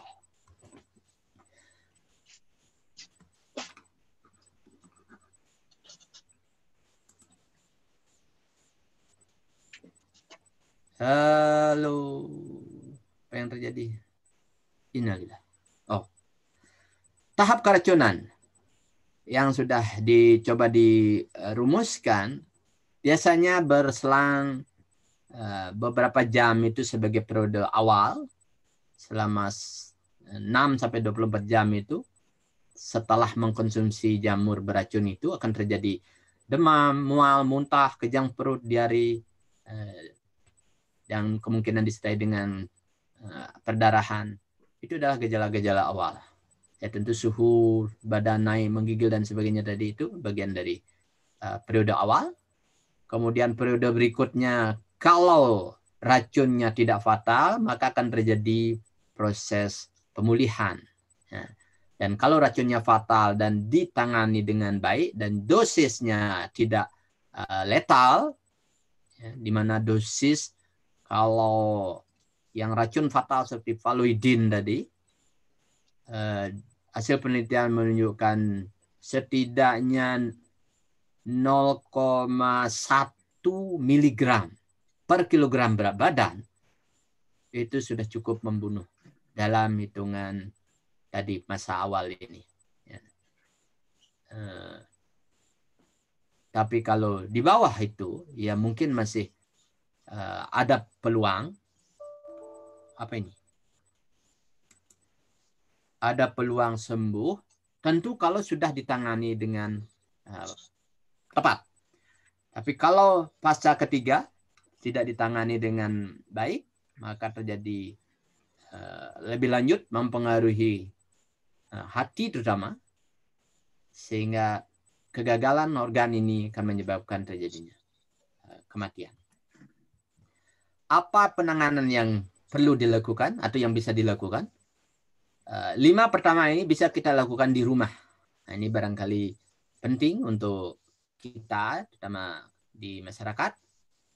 Yang sisanya itu tentu di rumah sakit oleh dokter. Di rumah kita usahakan minum yang banyak, terutama cairan elektrolit, minuman-minuman isotonik, kemudian minum teh pekat. Ini saya pernah mengalami keracunan beberapa waktu lalu. Saya banyak minum teh pekat. Tapi bukan oleh jamur ya. Kemudian minum susu banyak-banyak. Susu murni. Kalau ada karbon aktif, norit. Bahkan juga ada beberapa literatur mengatakan seduhan ganoderma bukan uh, pengalaman tapi hasil penelitian Ganoderma yang dibuat seduhan di, di digodok itu airnya dipakai untuk menanggulangi masalah keracunan amanita eh, dan dibarengi dengan treatment yang lain eh, bisa membantu menanggulangi permasalahan keracunan. Kemudian selanjutnya oleh dokter di rumah sakit tentunya. Dokter akan mengupayakan muntah kita juga di rumah bisa mengupayakan muntah, biasanya dengan memasukkan jari ke tenggorokan supaya upayakan muntah, jadi sebanyaknya muntah atau membuang air besar kalau ada eh, apa semacam suplemen yang bisa menginduksi kontraksi eh, membuang air besar. Eh, biasanya minum seperti minum yogurt itu bisa membantu saya rasa. Nah, di dok di penanganan medis di antaranya obat yang diberikan untuk menanggulangi masalah racun terutama dari amanita ini eh, yang sudah masuk ke kategori klinis, maksudnya rekomendasi klinis yaitu kelompok silimarin. Silimarin dengan senyawa aktifnya silibinin yang bisa diberikan secara oral ataupun intravena. Juga penisilin juga atropin. Ini nama-nama obat kimia yang sudah uh, secara uh, uh, legal di approve oleh FDA tentunya. Ini tentu oleh dokter. Jadi inilah hal yang dilakukan untuk menanggulangi, menanggulangi permasalahan keracunan jamur. Nah, selanjutnya sebagai mikologiwan eh, apa bagaimana menentukan jamur beracun? Tentu tidak Eh, bermasalah bagi para mikologiwan, anggota Mikoina, tapi bagi masyarakat umum yang perlu dipahami, tidak ada cara jitu mengenali jamur, uh, menyimpulkan jamur di alam itu beracun atau tidak. Nah, itu yang harus dipahami. Jadi harus melakukan pengenalan secara identitas. Dalam hal uh, ini dengan kata lain harus melakukan identifikasi. Identifikasi jamurnya apa spesiesnya. Kemudian tahu spesies itu adalah termasuk jamur beracun fatal. Karena dari informasi pengetahuan kita tahu kandungan-kandungan racun di spesies tersebut yang sudah uh, menjadi ilmu pengetahuan. Nah, di masyarakat anggapan-anggapan yang salah kaprah mengatakan jamur beracun itu adalah berwarna cerah, uh, bercincin, bercawan, uh, kandungan-kandungan racun di spesies tersebut yang sudah menjadi ilmu pengetahuan. Mohon nah, ada di masyarakat anggapan-anggapan yang salah kaprah. Ada back ini. Bouncing. beracun itu adalah berwarna Kenapa, Mas Ivan? Uh, Bu Gayu, YouTube-nya mungkin terlalu dekat dengan Bu Gayu ya? Halo Bu Gayu. Uh, Pak Nyaman, maaf, uh, waktunya tinggal lima menit lagi, Pak. Oh, Oke, masih banyak? enggak, enggak, enggak. Uh, kita Tapi lanjutkan normal Pak. saya. Kedengaran, Pak. Uh, Oke. Kita lanjutkan, Pak. Ini masuk yang bagian yang menarik nih, Pak. Silakan, Pak. Oke, eh, jadi itu anggapan-anggapan yang salah, ya. anggapan-anggapan yang keliru. Itu memang betul menjadi karakteristik dari spesies-spesies yang beracun, tetapi secara parsial. Jadi tidak bisa mengeneralisasi, men- mengeneralisasi eh, karakteristik parsial ini men- men- menyimpulkan bahwa spesies itu beracun. Tapi ini merupakan identitas parsial dari spesies yang beracun dan juga spesies yang edible. Karena yang berwarna cerah bisa dimakan seperti Pleurotus flabellatus, Pleurotus citrinopiliatus, ini cerah-cerah semua, cerah kuning, cerah merah, cerah ungu, ini jamur-jamur yang edible. Lactarius indigo, Amanita jacksoni, Amanita caesaria, bahkan ini sangat-sangat uh, spesial di bidang kulineri. Dan zaman dulu ini konon dijadikan persembahan raja-raja, maka diberi nama Amanita caesaria, jamurnya kaisar. Yang bercincin, yang tidak beracun. Nah, ini yang umum di, di supermarket. Champignon, bercincin. Baik uh, bisporus maupun brunescens. Bahkan yang dijadikan obat kanker sekarang. Agaricus blazei ini bercincin. Jadi tidak benar. Juga Lepiota procera uh, edible meskipun Lepiota umumnya beracun, tapi ada yang bisa dikonsumsi. Bercawan ya sangat terkenal. Satu-satunya yang bercawan tanpa cincin itu adalah jamur merang yang sangat terkenal di kita, ya, ikon kita. Nah, jamur beracun yang fatal itu adalah uh, satu kelompok genus sehingga general golden rule yang menurut saya dan juga banyak yang setuju harus hati-hati dengan jamur di alam. Kalau mengambil jamur di alam keberadaan cincin dan cawannya bersamaan. Ini yang harus menjadi ekstra hati-hati karena ini merupakan ciri khas genus Amanita. Dan empat spesies Amanita adalah yang paling mematikan di dunia. Ya, Valuides, Verna, uh, apa lagi? Nanti saya ada di belakang. Uh, dan semuanya itu adalah berwarna putih bersih sampai sedikit agak kecoklatan. Lepiota hampir semuanya putih, rata-rata putih. Jadi amanita yang mematikan justru bukan yang berwarna cerah, tapi berwarna putih. Jadi anggapan berwarna cerah sangat uh, salah kaprah. Dan umumnya hampir sebagian besar tumbuhnya di tanah. Itu yang perlu menjadi perhatian. Tiga hal ini. Volva dan cincin bersamaan ada dalam satu jamur. Warnanya putih-putih kecoklatan dan tumbuh di tanah. Upayakan hindari kalau memiliki ciri-ciri yang tiga ini. Ini menurut saya sebagai golden rule untuk menanggulangi uh, kasus keracunan. Tapi sekali lagi, kalau tidak punya ilmunya, masyarakat jangan mencoba mengambil jamur dari alam, kemudian mengkonsumsinya. Karena sudah terbukti setiap tahun ada kasus keracunan. Inilah ciri khas jamur genus Amanita.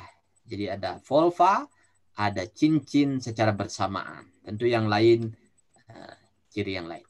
Namun yang jadi masalah, kalau stadiumnya masih awal, volva dan cincin ini belum kelihatan. Nah, kalau masyarakatnya mengambil dalam keadaan masih muda, terutama volvanya biasanya masih uh, tertanam di, di tanah, cincinnya juga belum kebuka, jadi tidak kelihatan. Nah, ini masa mudanya akan mirip sekali, terutama Amanita phalloides mirip sekali dengan suung bulan. Itu yang menurut saya sering mengecoh dan juga mirip sekali dengan lepiota. Suung bulan itu mirip dengan lepiota yang mudanya. Ya. Ini adalah Amanita phalloides, yang sedikit berwarna kecoklatan, kehijauan, rata-rata putih. Ini sangat mirip dengan suung tanduk atau suung bulan tadi ya, supa tanduk, supa kijang apa macam-macam namanya di daerah. Di, di Bali suung bulan juga, jamur bulan kalau di Bali di Jawa Barat suung bulan dengan Amanita phalloides ini. Ini yang paling sering mengecoh orang-orang yang keracunan jamur fatal ini. Amanita ocreata. Putih, bersih. Kalau kita lihat mudanya ini, sangat mirip dengan suung bulan. Amanita verna. Putih, bersih. Amanita virosa. Lebih bersih lagi. Tidak ada yang menyangka ini jamur beracun. Masyarakat awam yang selain amanita yang let yang non let amanita yang non letal muskaria cerah tetapi tidak mematikan panterina ini contoh-contoh saja cepat saja tidak banyak lagi non amanita seperti lepiota helveola eh, cukup parah juga ini meskipun tidak mematikan Conosibe filaris ini mematikan Uh, sorry, yang Lepiota helveola ini juga mematikan, maaf. Filaris ini mematikan.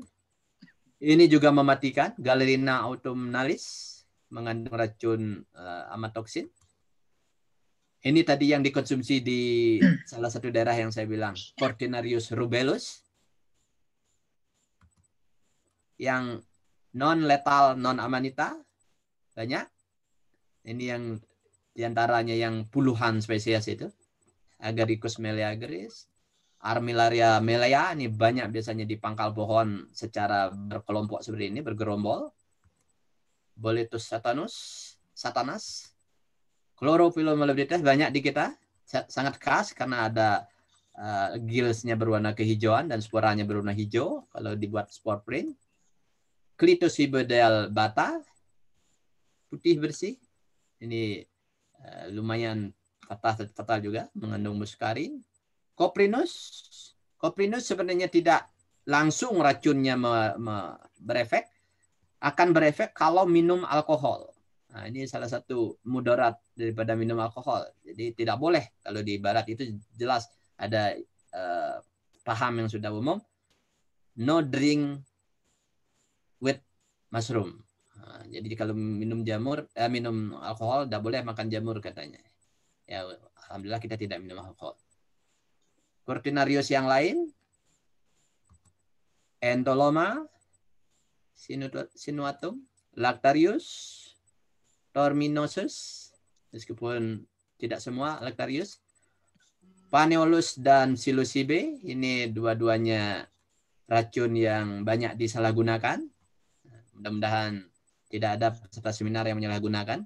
Hati-hati karena ini salah satu item yang masuk dalam kategori uh, drug psikotropika nanti bisa berurusan dengan uh, BNN. Rusula emetica, Scleroderma aurantium, Tricoloma pardinum. Sudah habis.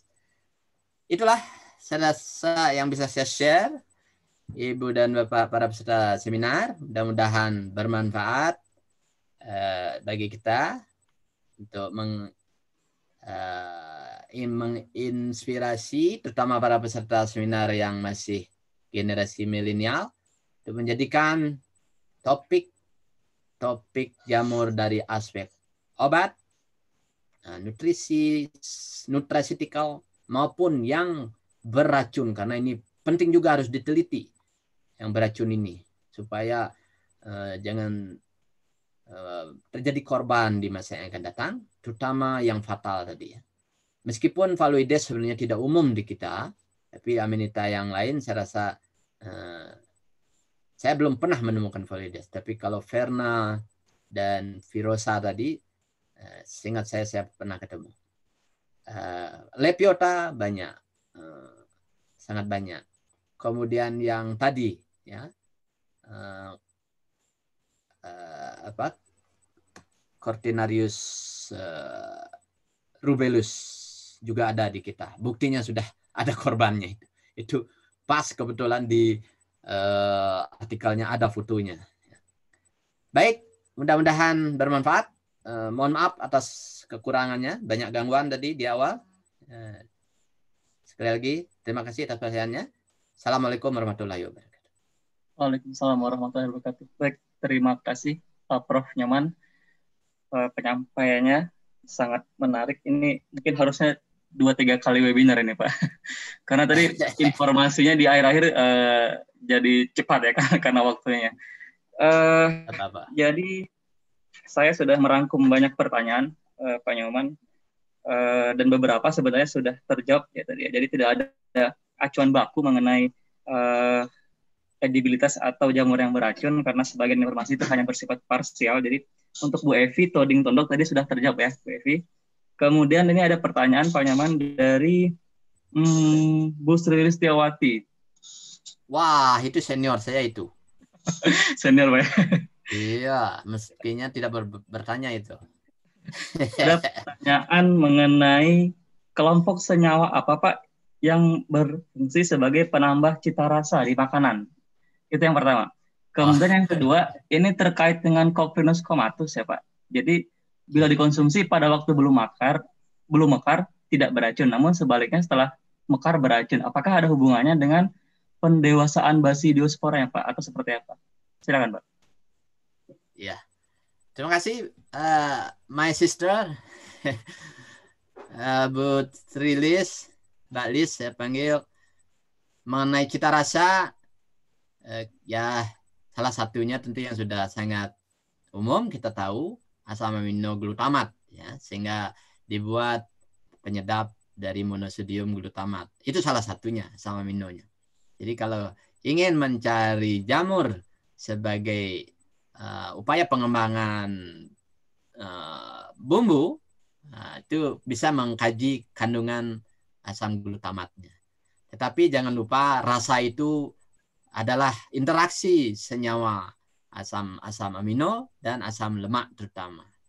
Jadi kombinasi itulah yang membuat uh, rasanya menjadi enak dan juga jangan lupa persepsi.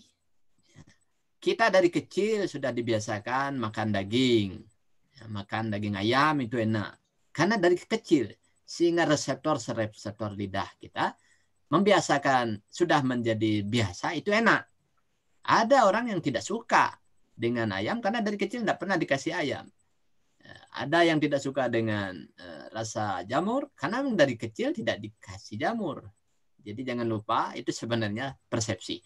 Tapi secara umum sekarang dari persepsi karena kita di brainwash atau tongue wash ya, kalau lidah kita yang di, dicuci begitu, dicuci lidah selama ini, uh, yang berglutamat itulah yang paling enak.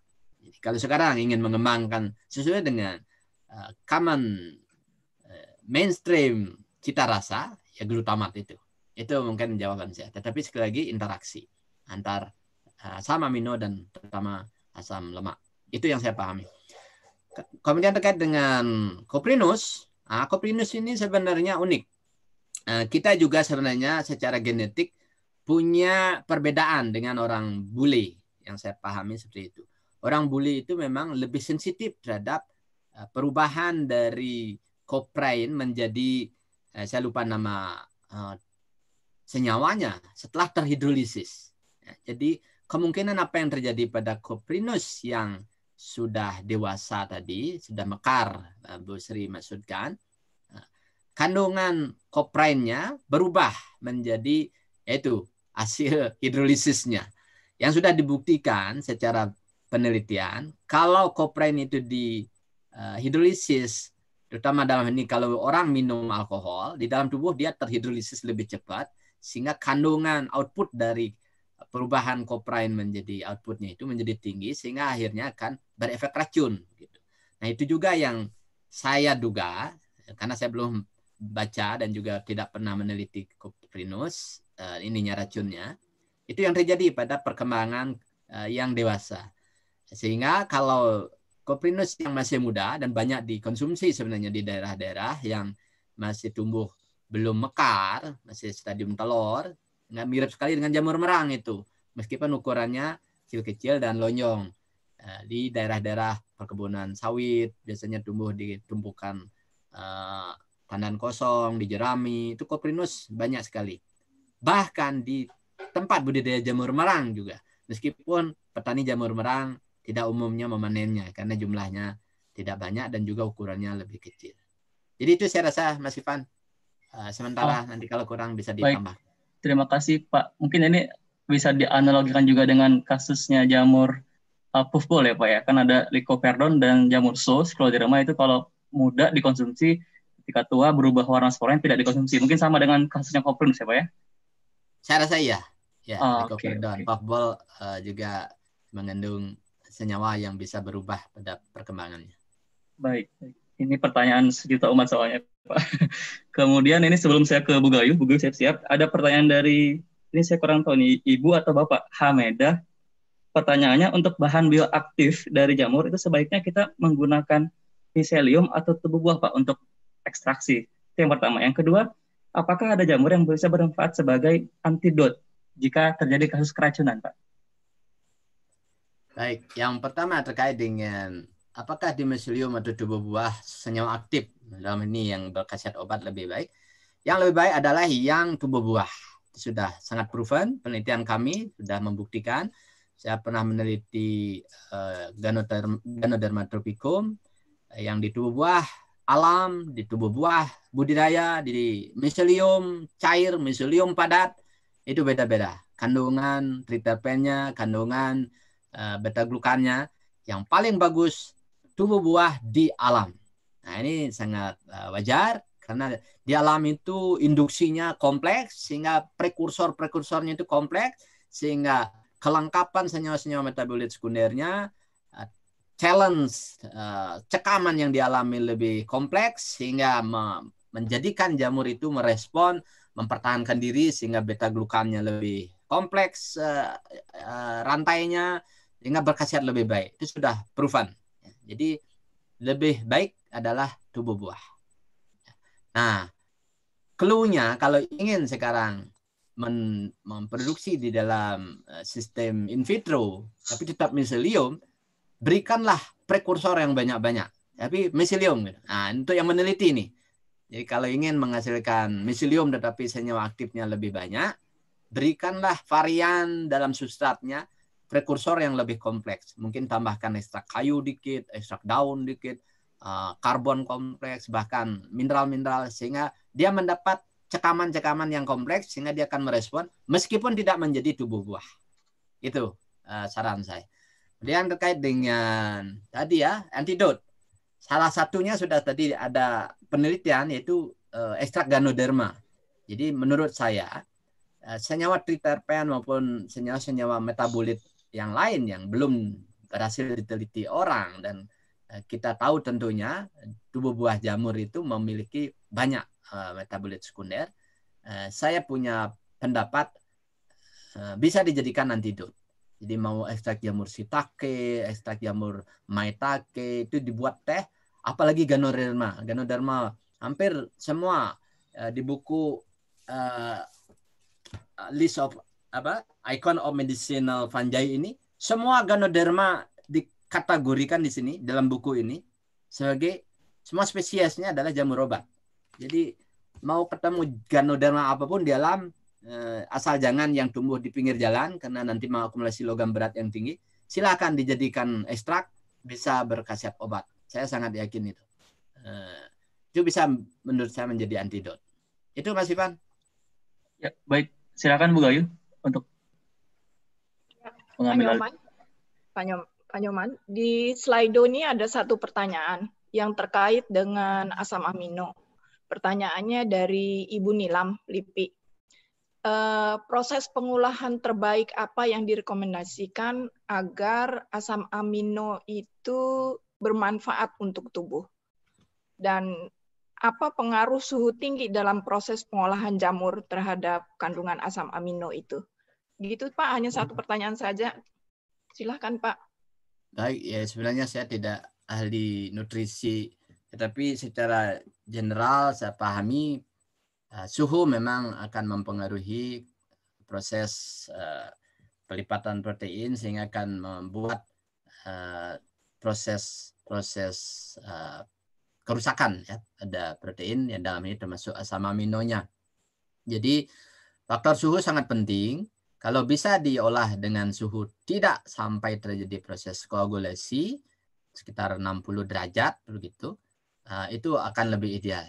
Jadi menurut saya lakukanlah proses-proses hidrolisis ataupun uh, pemurnian asam amino pada suhu rendah di, dikombinasikan tentunya dengan teknik-teknik yang yang lain apakah uh, kombinasi dengan tekanan kemudian dengan uh, kadar air uh, sehingga uh, optimal, uh, tetap aman, tidak merubah, uh, merusak uh, proteinnya dalam ini asam aminonya, uh, tetapi proses yang selanjutnya yaitu masalah kesterilannya yang akan menjadi permasalahan. Kalau biasanya suhu tidak tinggi, mikroba masih mungkin akan mencemari, menjadikan produk itu tidak aman dikonsumsi, sehingga ada proses-proses lain pem, uh, pensterilan dengan pendekatan yang lain, mungkin dengan cara radiasi, dengan cara uh, kimiawi, tentu yang uh, direkomendasi secara kesehatan. Mungkin itu Bu Gayo uh, yang bisa saya jawab karena itu oh. butuh oh. ahlinya yang lebih ahli itu. ya. Baik Pak, uh, kembali lagi ke Ivan. Masih ada pertanyaan, Van? Oh, uh, baik Bu, uh, masih ada beberapa dan saya sudah rangkum yang pertanyaan mirip-mirip. Ini uh, salah satunya dari Mbak atau Safinah ya. Pak, untuk di Indonesia sendiri apakah sudah ada misalnya dari penelitian Bapak publikasi mengenai jamur edible atau jamur beracun di Indonesia, Pak? Dan bisa diakses Pak seperti itu? Bu Safina ini sebenarnya bekas mahasiswa saya ini. Kalau namanya mudah-mudahan bukan. Uh, eh, rangkuman review begitu ya. Setahu saya belum ada. Tunggu dari Bu Hati dan Bu Gayu ini. Belum ada. Jadi kita memang eh, kekurangan kita tidak bisa fokus. Jadi ke mana-mana begitu sehingga eh, tidak ada yang punya waktu menghasilkan publikasi, melakukan review terhadap jamur-jamur uh, edible dan apa tadi beracun ya di ya, Indonesia. Ya. Belum ada setahu saya kalau di kajian di Indonesia. Uh, mohon maaf Bu Safina kalau itu bekas mahasiswa saya. Vina. Atau Bu Safina diminta untuk menulis Pak. Iya. oh kalau dia seingat saya bukan di ini di eh, lembaga riset dia di mana dulu di bidang pertanian kalau tidak salah. Ya silakan mudah-mudahan ada yang punya waktu. Mas Ivan lah para Ivan muda. Baik, terima kasih Pak. Eh, ini sebenarnya masih ada pertanyaan, tapi se sepertinya jawabannya akan panjang karena mungkin kita butuh webinar lagi Pak ini cara isolasi beta glukan, kemudian jamur yang vitaminnya tinggi, ini banyak sekali Pak. Tapi mungkin saya berikan kesempatan nih kepada peserta yang ingin langsung bertanya, silakan uh, di unmute, kemudian sebutkan uh, nama dan institusinya. Apakah ada dari peserta di uh, webinar kali ini? Silakan. Saya Mas Ivan. Ya, silakan Ibu. Uh, terima kasih Mas Ivan. Uh, Prof. Nyoman, saya mau bertanya. Saya dari uh, Fakultas Pertanian Universitas Melawarman. Nama saya Nikmatul Janaksan. Uh, saya ingin menanyakan apakah uh, sudah ada penelitian tentang pemanfaatan jamur-jamur beracun ini digunakan untuk pengendalian uh, UPT ya, terutama hama misalnya. Jadi kalau kita setarakan apakah seperti pesnap gitu. Saya kira itu hmm. saja pertanyaan saya. Terima kasih. Uh, kalau logika saya sudah ada pasti dalam tataran riset. Uh, namun saya tidak mengkhususkan, belum sempat ya. Saya, uh, mohon maaf nih Bu, Bu Nikmatul Janah. Uh, terima kasih pertanyaannya. Mudah-mudahan ini menjadi masukan buat para mikologiwan ke depan.